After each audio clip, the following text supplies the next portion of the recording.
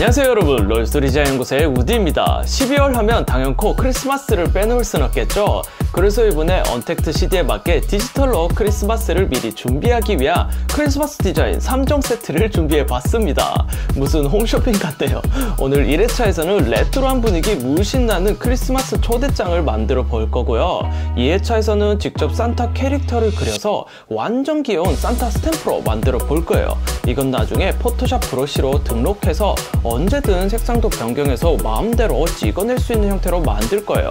그리고 3회차에서는 직접 그린 산타 캐릭터를 활용해 채색도 하고 명암도 적용해서 움직이는 산타 이모티콘으로 만들어 볼 거예요. 자, 그럼 오늘은 크리스마스 초대장을 바로 만들어 보겠습니다.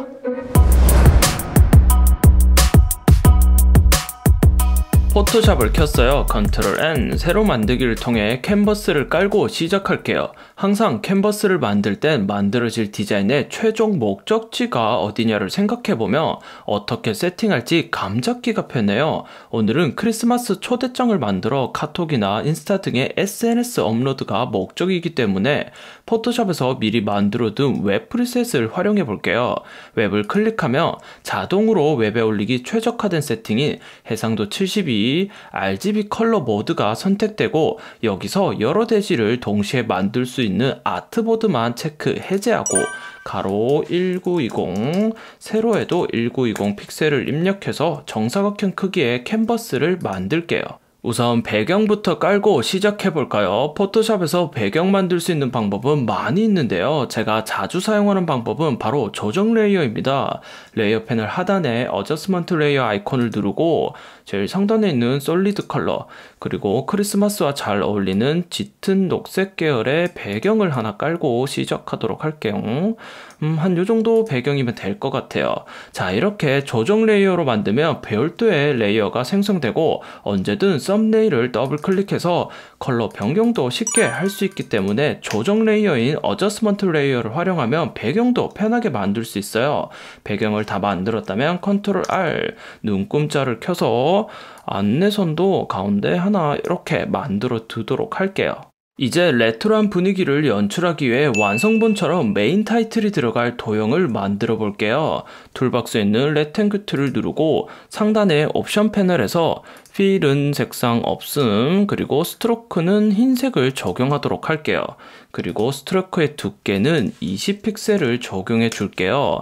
아 참고로 이번 포토샵 신버전부터는 weight 두께 메뉴가 완전히 사라졌어요 여러분. 이제 stroke의 두께를 정하고 싶다면 그냥 직관적으로 stroke 옆에 있는 여기 칸에다가 수치를 입력하면 이게 곧 stroke의 두께가 된답니다. 세팅을 다 했다면 드래그해서 도형을 만들어도 되지만 빈 여백을 한번 클릭해서 가로 1750, 세로 700 픽셀 이렇게 직접 수치를 입력해서 도형을 만들어 줄게요.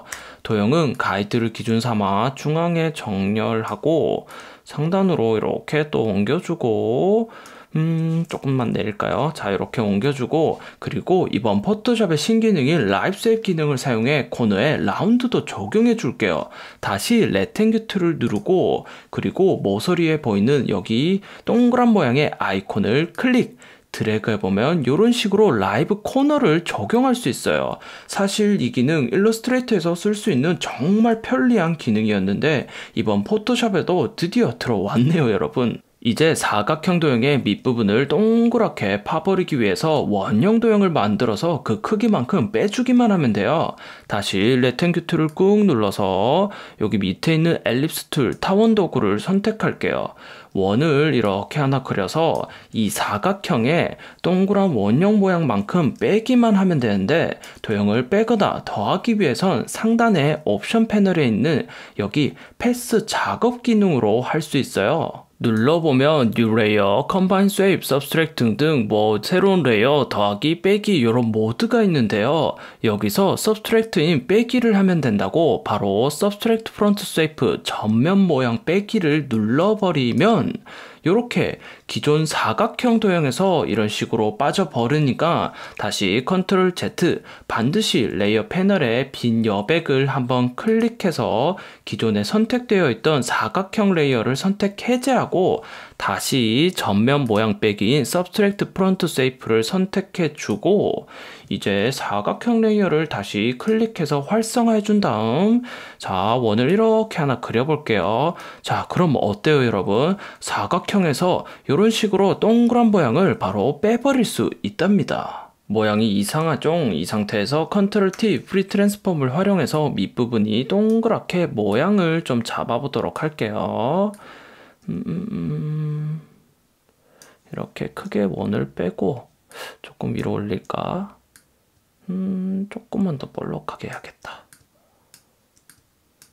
뜨릇 뜨릇 뜨릇 음, 한 요 정도 느낌으로 하면 될 것 같아요. 이렇게 Free Transform 모드를 종료하기 위해선 항상 엔터를 입력하면 돼요, 여러분. 이제 문자도 넣어 볼까요? T Type 도구를 이용해서 캔버스 빈 여백을 클릭하고 음, 산타 할아버지 and 루돌프 콜라보레이션이라고 입력을 해볼게요.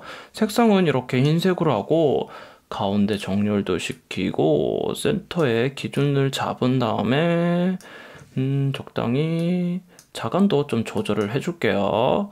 음, 한 요 정도 하면 될 것 같아요. 그런데 우리 레트로한 느낌을 주기 위해 요런 도형의 틀도 뭐 나쁘진 않지만 이 문자 자체도 어투를 바꾸면 레트로한 느낌을 더 강조시킬 수 있어요. 그러니까 내용을 조금 더 촌스럽게 다시 바꿔볼게요. 산타 할아버지보다는 할아부지가 조금 더 재밌을 것 같고 루돌프보다는 루덜프 그리고 콜라보레이션은 그냥 발음 그대로인 컬라버레이션 하이픈 당겨놓고 즈 이런 식으로 말이죠. 음, 자간도 다시 맞춰야겠죠. 자간도 맞춰주고 자 이런 식으로 일부러 막 촌스럽게 하는 거예요 여러분. 그리고 메인 타이틀인 크리스마스도 입력을 해볼게요. 마찬가지로 그냥 크리스마스보다는 크리스마스 이렇게 말을 재미나게 바꿔주고 색깔은 크리스마스랑 잘 어울리는 붉은색을 적용해 줄게요. 자간은 0으로 하고 일단 글자의 크기는 큼지막하게 미리 만들어 두고 완성본을 보면요. 이 크리스마스 글자가 Bend 구부러져 있거든요. 요런 거는요. 다시 Type Tool을 클릭하고 상단에 옵션 패널을 보면 Warp Text 기능이 있어요. 이 Warp Text의 스타일에 Arc Lower를 적용하면 이런 식으로 밑으로 볼록한 글자가 완성이 되는데요. 여기 있는 이 Bend를 플러스가 아닌 마이너스 방향으로 바꿔주면 글자를 밑으로 볼록이 아닌 위로 옴 오목하게 이런 식으로 Bend 구부릴 수 있어요. 자, 이런 식으로 해서 일단은 글자의 레이아웃을 좀 잡아 볼게요. 자, 이렇게 하고 나면 문제가 뭐냐면 밑에 만들어둔 도형에 이 여백이 너무 많이 남아있죠. 이럴 때는 다시 Rectangle Tool 레이어를 클릭해서 활성화 시켜주고 직접 선택 툴인 Direct Selection Tool을 클릭 그리고 캔버스 밖에서부터 클릭 드래그해서 밑에 부분 Anchor Point를 이렇게 다 잡아줄게요. 그리고 Shift 키를 누른 채로 방향 키를 위로 이렇게 올려주면 길이 조절도 편하게 할 수 있답니다. 음, 한 요 정도 하면 될 것 같아요. 요것도 다 하면 엔터를 누르면 된답니다. 자 이렇게 메인 타이틀 디자인도 만들었어요 이제 소소한 디테일을 더하기 위해 얇은 테두리도 추가해 볼게요 레이어에 빈 여백을 더블 클릭해서 레이어 스타일 창을 띄우고 검정색의 Stroke를 적용해 줄게요 사이즈는 2픽셀 포지션은 바깥쪽으로 해서 검정색의 Stroke를 적용을 해줄게요.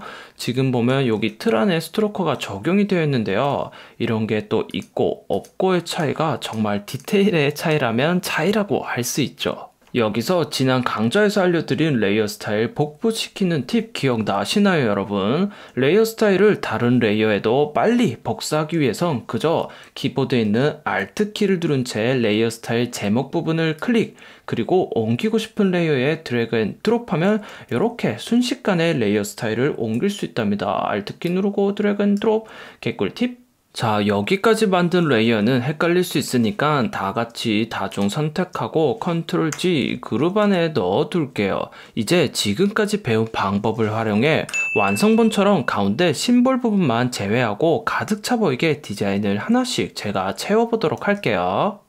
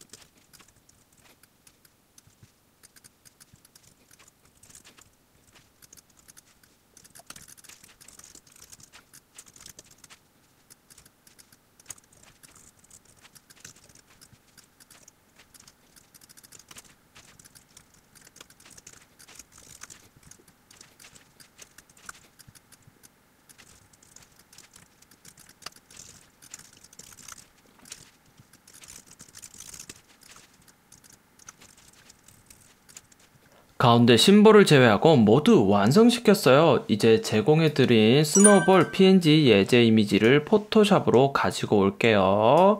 크기를 적당히 조절하고 위치도 이렇게 잡아줄게요. 지금 심볼 색상이 안 어울리니까 layer style에 들어가서 color overlay 기능으로 이렇게 흰색으로 심볼을 만들어 버릴게요. 이제 심심해 보이는 심볼에 색상을 추가하기 위해 신나는 색칠 놀이를 해볼게요. 우선 색칠 놀이를 하기 전 심벌 layer 위에서 마우스 우클릭 그리고 여기 있는 rasterize layer style을 통해서 layer를 raster화 시켜주도록 할게요. 그리고 toolbox에 있는 gradient tool을 꾹 눌러서 여기 있는 paint bucket tool을 선택하도록 할게요.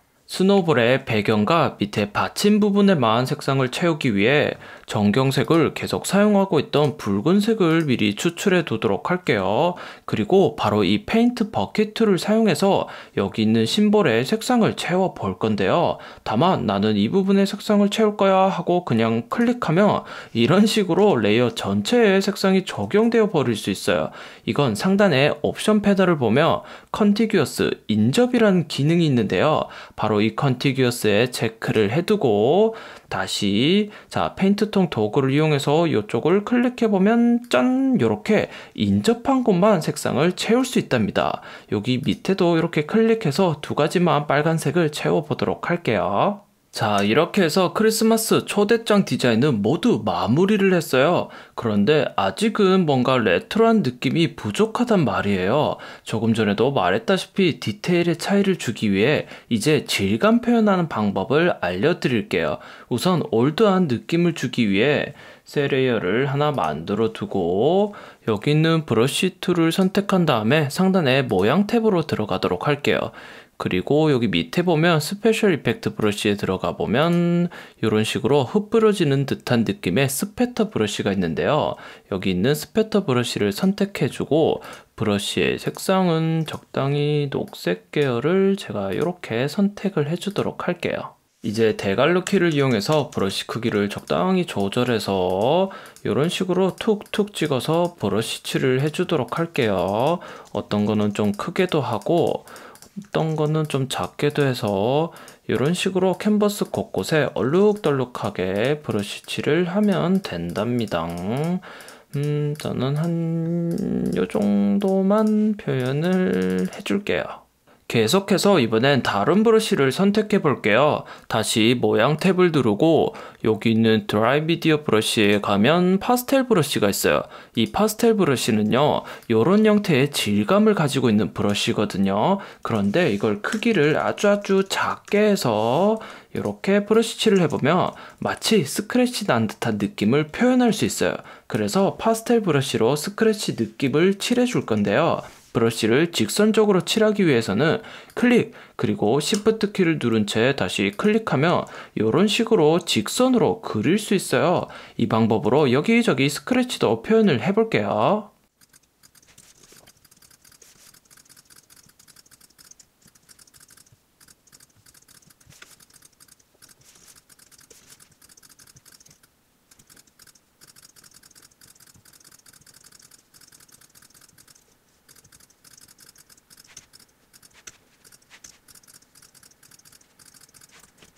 자 이렇게 두 가지 브러쉬로 브러쉬칠을 다 마쳤다면 이제 해당 layer에 blending mode인 overlay를 적용해서 더욱 진짜 같은 느낌을 표현해 줄게요.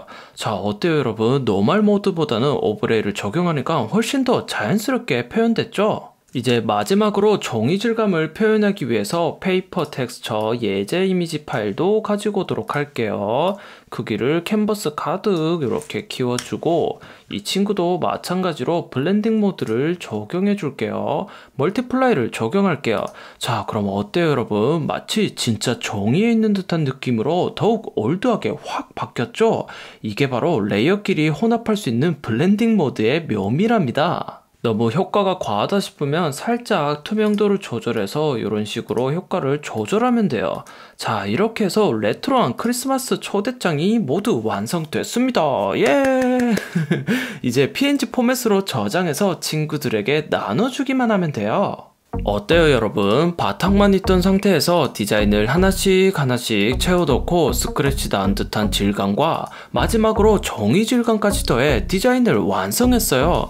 사실 제가 이걸 미리 만들어 지인들에게 보여주니까 마치 옛날 성냥개비 패키지 같다면서 너무 예쁘다 하더라고요. 여러분들도 이렇게 응용해서 멋진 크리스마스 카드 만들어 보시길 바랄게요. 그럼 오늘 강좌도 도움됐다면 아시죠? 롤스토리 디자인 연구소 구독과 좋아요 누르는 거 잊지 마시고요. 우디는 다음 크리스마스 강좌 또 준비해서 오겠습니다. 안녕.